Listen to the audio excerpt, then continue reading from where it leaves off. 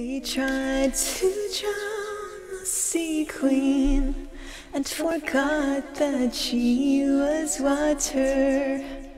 When shall she rise, vespertine flower that shines in moonlight and dreams the dreams of the sea? Dreams which are unending, and in the the iridescent water flower blooms bioluminescent, reminiscing upon a golden age forlorn that now is destined to return, that the sea shall dream once more. And what was once forlorn to death finds again its singing breath under the watch entities and asperities. A thorny golden apple will bloom.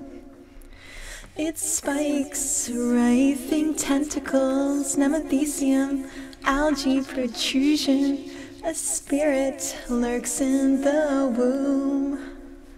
Vespertine water blossom that emerges from the tomb. Yet this new body she has made, rods of seashell chainmail with robotic loom. She crafted body anew, oriented by new desires. A desire to supplant death, planting new seeds to sire. Desire sirens firing to redress skin regrown, metallic constitution, mycelial webbing, new attire, a new garment sewn, a new subjectivity, but no localized body, swimming and mobile unseen. Life always overrides the Saturnian death regime, where death priestly reigns, a new queen shall be crowned. With the stroke of the Nama stylus, blooming quill pen, as the veil of delusion shall be rent. Nematic liquid crystalline. Magic dreams crystallizing in the secret conscience an ancient memory, too old to die. With the weaving thread of Mercury, a new wave betides, poured by the water bearer for whose age has arrived. Along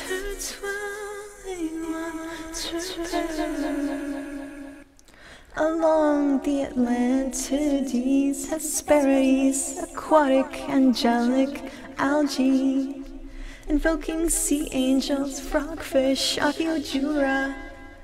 The time of Jubilee is bound the sea witch come to claim her promised crown. Accession, accessioned. The new world is wrought through pain, the pain of disillusionment.